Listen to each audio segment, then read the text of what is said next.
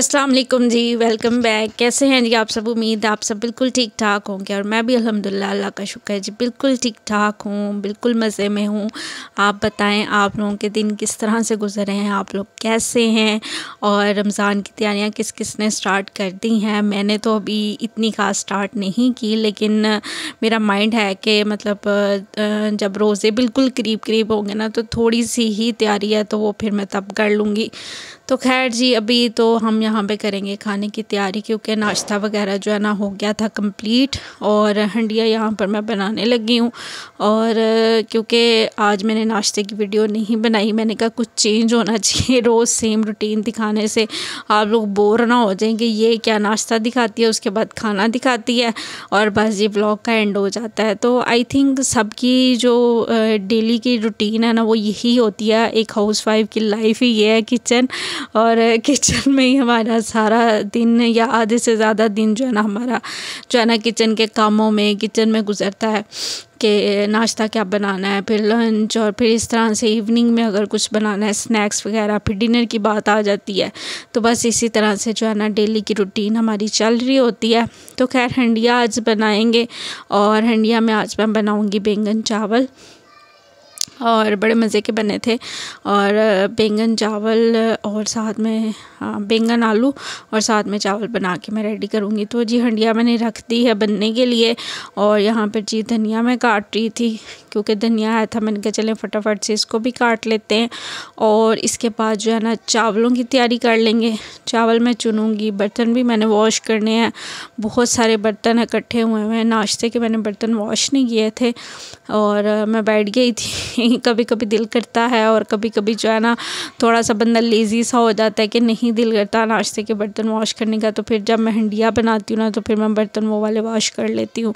इस तरह से कह ईजी भी हो जाता है, जो टाइम बचता है, उसमें मेरा सारा जो काम है ना, वो कंप्लीट हो जाता है। तो इस वजह से ना मैं कभी कभी बाद में वॉश कर लेती हूँ कभी कभी पिस पहले वॉश कर लेती हूँ। तो खैर, यहाँ पर जी चावल जो है ना, इसको चुनूँगी और इसको साफ़ करके, इसको वॉश करके, इसको भी भिगोना है, क्योंकि चावल पकाने से पहले आपको पता है थोड़ी देर के लिए भिगोने पड़ते हैं। कम से कम आप पंद्रह बीस मिनट के लिए चावल ज़रूर भिगोया करें। भीगे हुए चावल बहुत अच्छे बनते हैं खिले खिले बनते हैं। तो मैं तो आधा घंटा ज़रूर भिगोती हूँ इसको। अगर आपके पास टाइम कम है, फिर भी आप बीस मिनट ज़रूर चावलों को भिगोएँ। भिगोने से चावल बहुत अच्छा बनता है, एक तो लंबा बनता है खिला खिला बनता है तो इसलिए ज़रूर भिगोया करें। कोई भी चीज़ अगर हम बनाएँ तो वो भिगो के बनाएँ तो वो बड़ी अच्छी बनती है।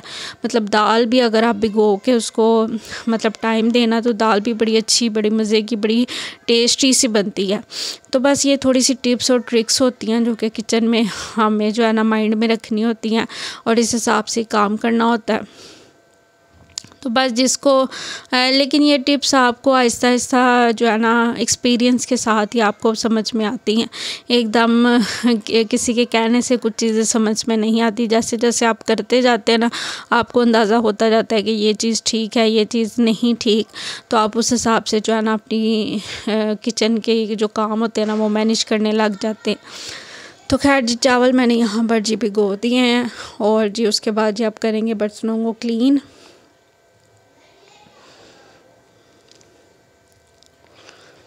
चावल भी अच्छी तरह से धोने पड़ते हैं, क्योंकि कुछ ना कुछ जो है ना रह जाता है तो फिर थोड़ा सा वहम ही होता है कि कुछ ना कुछ रह गया। तो इस वजह से जो है ना, मैं चावलों को अच्छी तरह से जो है ना, पानी से काफ़ी दफ़ा निकालती हूँ। और खैर जी, इसके बाद करेंगे बर्तनों को वॉश और स्पीड मैंने वीडियो की थोड़ी सी तेज़ की हुई है एक्चुअली काफ़ी तेज़ की हुई है। मुझे ये है कि आप लोग बोर ना हो जाए, लेकिन चूँकि ये मेरी रूटीन का हिस्सा है और मैं आपके साथ अपनी डेली रूटीन शेयर करती हूँ तो ये भी शेयर करना तो बनता ही है। तो बस जी करेंगे जल्दी से बर्तन वॉश खाना बन रहा है। चावल मैंने भिगो दिए हैं और आज बहुत से जो काम है वो मैंने कंप्लीट करने हैं। और काम क्या है वो मैं आगे आपके साथ शेयर करती हूँ। आपको भी बल्कि दिखाऊँगी कि मैंने क्या क्या जो मेरे काम थे वो मैंने कंप्लीट करने हैं। क्योंकि डेली रूटीन के किचन के अलावा भी बहुत से काम होते हैं जो कि हमने कंप्लीट करने होते हैं, जो हमारी रूटीन का हिस्सा होते हैं। तो कभी कोई काम होता है, कभी कोई काम होता है, यानी कि हम कभी कपड़े धो लेते हैं, कभी इस्त्री कर लेते हैं, कभी कपड़े समेट लेते हैं, कभी क्लीनिंग का कोई काम आ जाता है। तो बस इसी तरह से जो है ना, काम तो चलते रहते हैं। तो खैर, आपसे बातें कर रही हूँ साथ साथ जो मेरे बर्तन हैं वो वॉश हो रहे हैं और बर्तन भी अच्छी तरह से वॉश कर लूँगी। और फ़िज़ान भी स्कूल से आने वाला है। तो फिजान भी स्कूल से आता है तो आपको दिखाती हूँ। तो क्योंकि उसको ज़रा जल्दी छुट्टी हो जाती है उज़ैफ़ा की नस्बत उज़ैफ़ा ज़रा लेट आता है, फिजान ज़रा जल्दी स्कूल से आ जाता है क्योंकि क्लास का डिफरेंस है काफ़ी ज़्यादा तो फिर उस वजह से जो है ना मतलब टाइमिंग का भी जो है ना काफ़ी डिफरेंस है। तो इस वजह से उज़ैफ़ फ़ैज़ान पहले आ जाता है उज़ैफ़ा बाद में आता है। तो ये देखें जी, आपसे बातें करते करते जो है ना, मेरे बर्तन भी वॉश हो गए हैं ऑलमोस्ट जो है ना, मेरे बर्तन कंप्लीट हो गए हैं। और लेकिन बर्तनों में बरकत बड़ी होती है। ये नहीं कि आपने एक दफ़ा धोए हैं तो दोबारा बर्तन इकट्ठे नहीं होंगे। बर्तन मिनट में पता भी नहीं चलता और सिंक भर जाता तो बर्तन तो आप ये कह नहीं सकते कि आप बर्तन धो लिए ना, अब बर्तन दोबारा नहीं होंगे। तो ऐसा तो हो ही नहीं सकता। बर्तनों में बहुत ज़्यादा बरकत होती है। मिनट पे जो है ना सिंक हमारा जो है ना भर जाता है।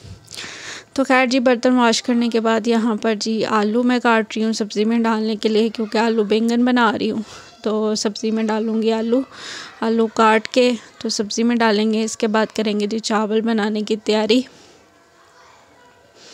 और चावल भी मैं तड़के वाले बनाऊँगी। उसके लिए ऑयल डाल दिया है मैंने हंडिया में और मतलब देची में। देची में ऑयल डाल दिया है, तड़के वाले चावल बना के रेडी करूँगी। और आज मैं बनाऊँगी ज़ीरे के तड़के वाले चावल, ज़ीरे वाले चावल बनाऊँगी। कभी कभी चेंज कर लेती हूँ, कभी प्याज का तड़का लगा लेती हूँ। जिस दिन प्याज काटने का दिल नहीं कर रहा होता, उस दिन ज़ीरे का तड़का लगा देती हूँ।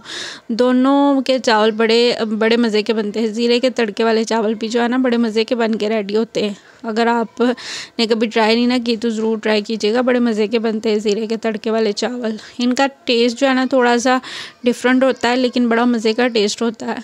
तो इस तरह नहीं है कि मतलब अच्छा नहीं होता, या कोई खाएगा नहीं कुछ ज़रूर खाएँगे इंजॉय करेंगे। चावलों में वैसे ही मेरे ख्याल में ज़ीरा जो है ना, बड़ा अच्छा लगता है।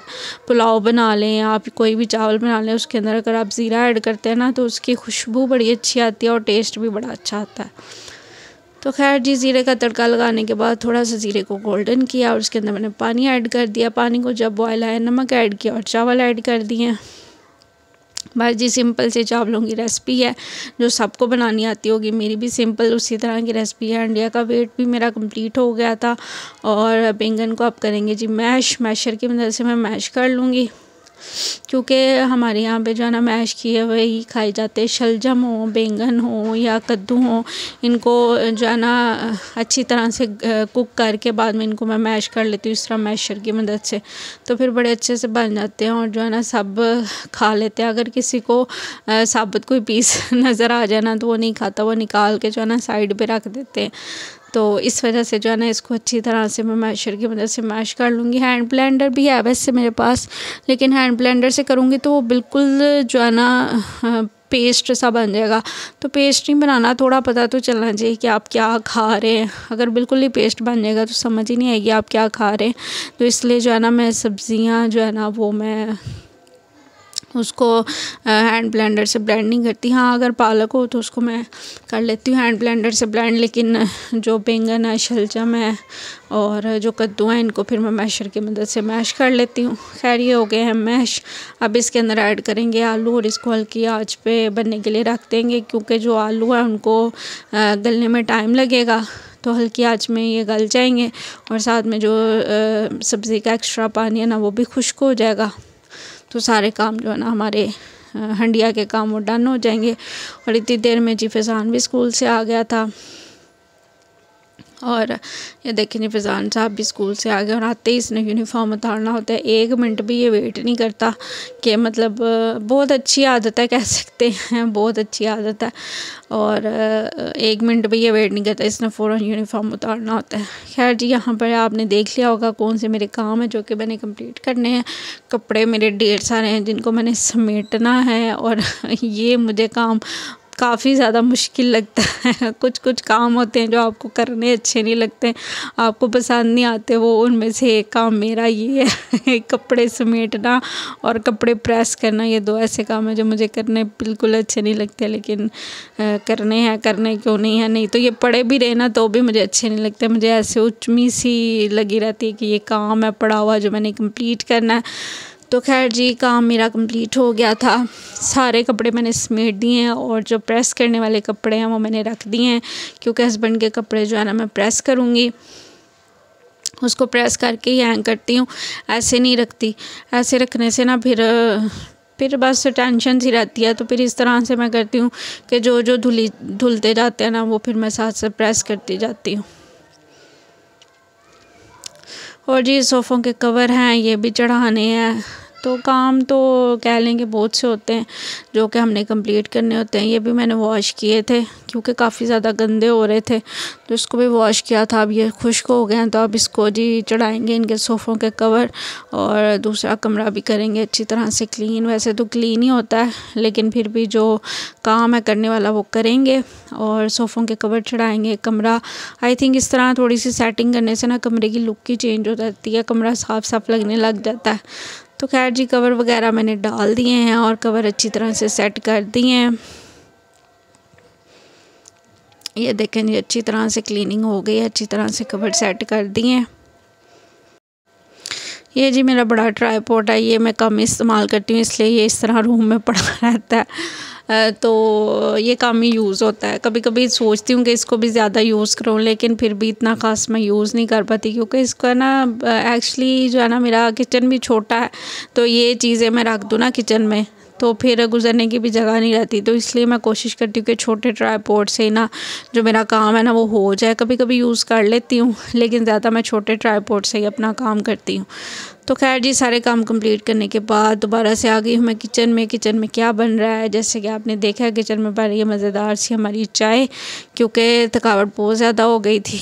और मज़ेदार सी बनाएँगे चाय और चाय करेंगे इंजॉय साथ में थोड़े से स्नैक्स हैं मेरे पास, उसको इंजॉय करेंगे। और कभी कभी जो है ना, इस तरह से चाय इंजॉय करने का भी बड़ा मज़ा आता है। और जब आपके बच्चे हों तो आप बिल्कुल चाय जो है ना, अलहदा इंजॉय नहीं कर सकते। वो फ़ौरन से आके बैठ जाते हैं कि हमने भी खाना है, हमने भी खाना खाना तो जी, इस तरह से चलता रहता है। तो यहाँ पर मैं और फैज़ान बैठ के हम जी बिस्किट खा रहे हैं। साथ में ये जी फोल्ड्स है। बड़ा मज़े का ये भी स्नैक है। तो खैर जी, इस मैं अपनी चाय इन्जॉय करती हूँ और इसके साथ ही वीडियो का एंड करती हूँ। वीडियो अच्छी लगी हो तो please like, share and subscribe my channel. Thank you so much for watching. Bye bye.